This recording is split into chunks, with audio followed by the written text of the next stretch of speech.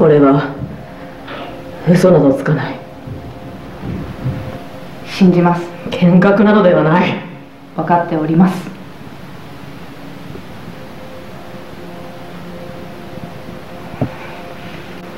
あの男は狂っていた。今日の誉れは山間切りか。ああ皆の見せ場を奪ってしまったな。さすがだなお前の主として誇らしいよ。よく頑張ったな。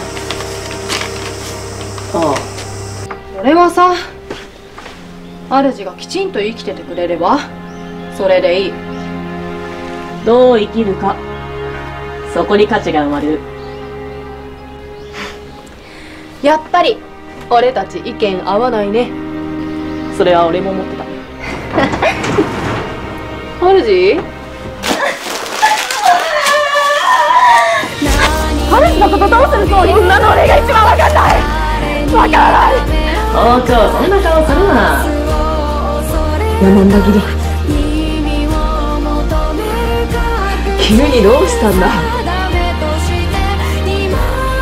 眠れるわけないだろ。朝起きたら心臓ずっと乗ってるかもしれない。折れてるかもしれない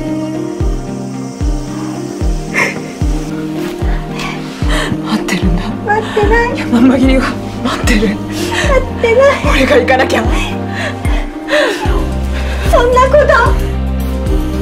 望んでない。行かせてくれよ。山間切り行かせてくれ。行かせない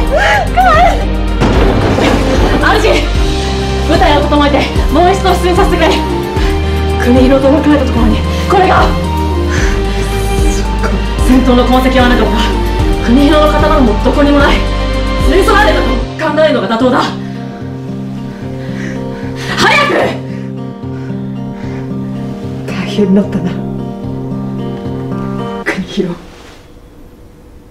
主